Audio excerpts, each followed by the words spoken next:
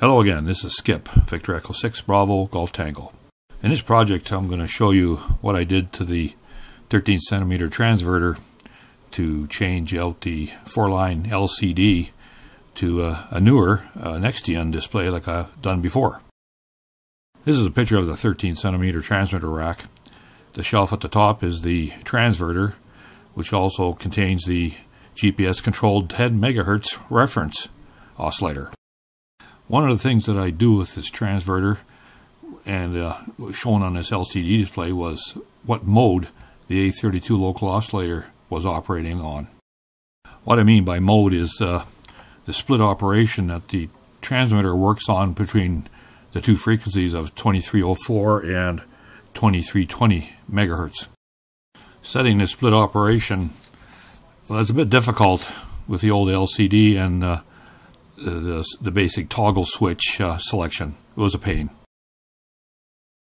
So I've ordered in new Nextion displays for all the LCD replacements, and on this transverter shelf, I'm using a 3.5 inch display. So the fun begins, getting the code written so that these new Nextions will communicate with the existing PIC microprocessor in the shelf. The PIC in this project, other than the A32 local oscillator selection, does nothing else but uh, display the GPS data. I figured it might as well. It's kind of cool, so why not? So for a startup display, I thought this would be kind of a cool picture, having one of the actual GPS satellites on there. In this picture, I'm using a 7-inch uh, display just to do the code work on and get things running. It'll be uh, all shrunk down to the smaller display size later. This picture, you can see where I've got the uh, Nextion screen connected over to the existing PIC board for transferring the GPS data across just to show how it works. You can also see the old LCD display in the front panel, which was also still working, so I could compare the uh, results from the GPS. So far, I've just been sending data to the Nextion for display. Next was to get the actual touchscreen working, so it required a second circuit board, and and uh, here I'm showing uh, a new board being etched in the etchant tank.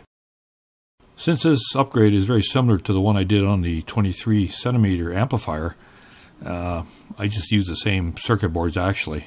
I had enough room in this chassis, I didn't have to stack them. So uh, it went together quite well.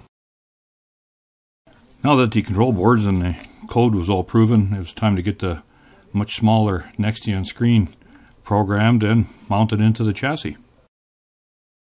Next was to build up a small mounting bezel for the small Nextion screen so they could be bolted directly into the uh, old transverter panel. I used JB Weld to cement some long 440 bolt shafts onto the uh, predetermined holes into this panel so that the Nextion screen would uh, bolt down onto this using plastic spacers. Then I had to take the front panel off and cut the hole that the LCD was in uh, quite a bit larger for the Nextion panel to bolt to. The uh, switch holes on the bottom didn't get covered up, so I built some aluminum plugs to fill them in. Okay, then, there's the fun part.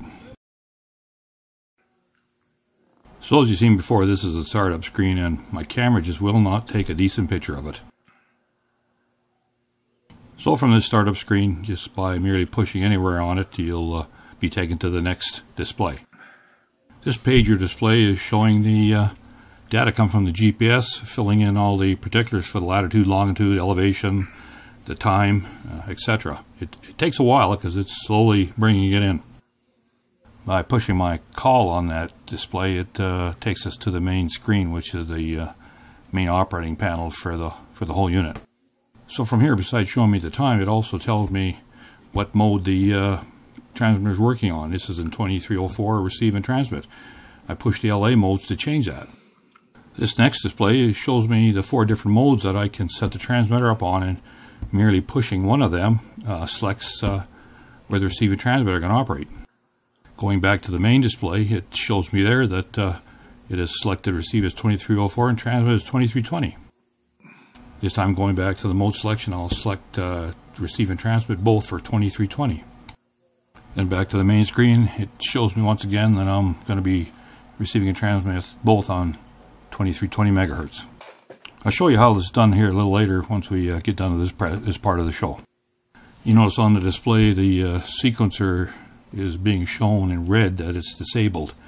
Uh, this signal comes from the sequencer shelf below this rack or this shelf and uh, there's a logic line comes up and it tells this display or this PIC in here to uh, display what what uh, status it's in.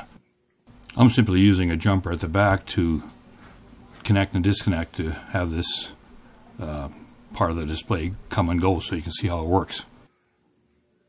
The next uh, text line down is indicating if the local oscillator, the A32, is locked or unlocked with the uh, 10 megahertz reference signal coming in from the GPS circuit. If the uh, local oscillator circuit becomes unlocked, the uh, PIC circuit sends a logic signal down to the sequencer, which will keep you from transmitting or put you in to receive if you are transmitting in the middle of it. Again, to simulate it here, I'm merely uh, unplugging the coax cable that goes into the transmitter or the local oscillator box from the GPS circuit. So pushing my ham call again uh, takes us back to the previous screen where the GPS data is uh, slowly being displayed. Then pushing the call uh, takes us back to the main operating panel or screen.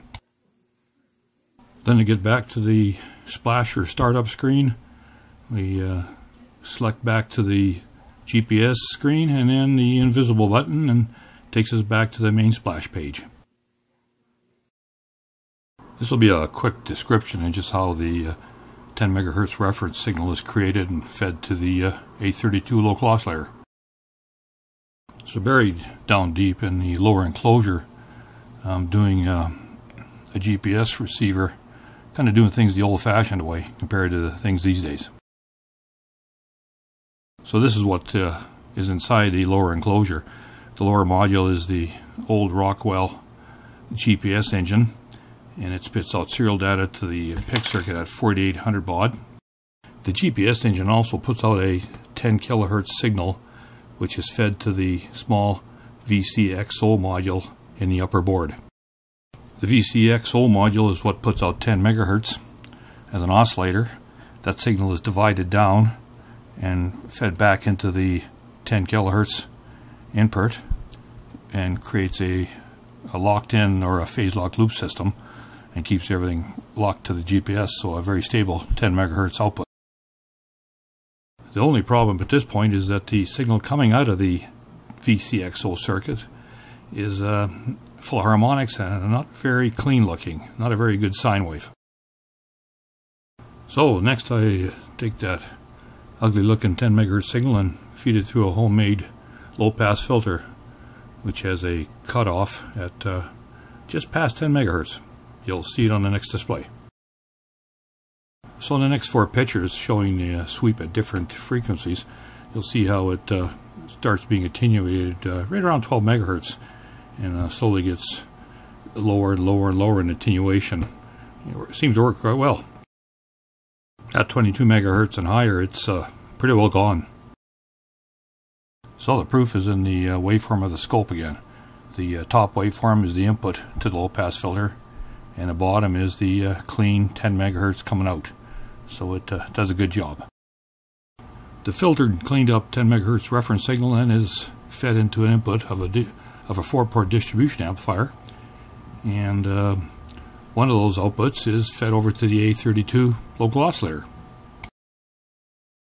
Next is a brief description on how I select different frequencies or modes for the A32 local oscillator and also why I love PIC microprocessors. Little integrated circuit that's uh, shown circled here is a PIC 12F675. It's a little 8 pin uh, chip that is extremely handy. Um, you can use it just about to do anything. It's so small it takes up you know, no space. And it's in this circuit. This is what uh, is uh, selecting the different modes for the A32 local oscillator. This is a simple block diagram and how all this works. The uh, control display PICs gets the serial data from the Nextion display and it sets up the two data lines, data 1 and data 2. From that chart above, it shows you what the uh, logic levels are of those two lines that are being fed into the small 12F675. The code in the 12F675 PIC now, with those two data lines coming in, selects the line going over to the A32 local oscillator for which mode it's going to be in. Uh, for 2304, it'll be in a high state. For 2320, it'll be in a low state. Next is the transmitter receive signal coming from the sequencer into the small PIC. It's this logic from the sequencer that determines what uh, mode the little PIC is going to select for the A32. It's a simple F then piece of code that uh, looks at the transmitter receive signal coming into the sequencer and sets up the frequency select line for if it's in receive or transmit, uh, as shown in the uh, four different mode states on the uh, upper left. Before, with the old LCD and toggle switch selection, I had to go through quite a sequence to select these modes. But now with the new Nextion, I just go to that one screen and just simply touch it with my finger and uh, voila, it's all set up. So far it seems like it's working quite well. So that pretty well wraps it up for uh, this part of the project. In this picture here you can see the uh, upgraded transverter shelf with this new Nextion display and uh, comparing them with the ugly old four-line LCDs it's a huge improvement. So next is to get the other three LCDs replaced with the new 4.3 inch Nextion displays. So thanks for watching once again. 73s from Victor Echo 6 Bravo Golf Tango.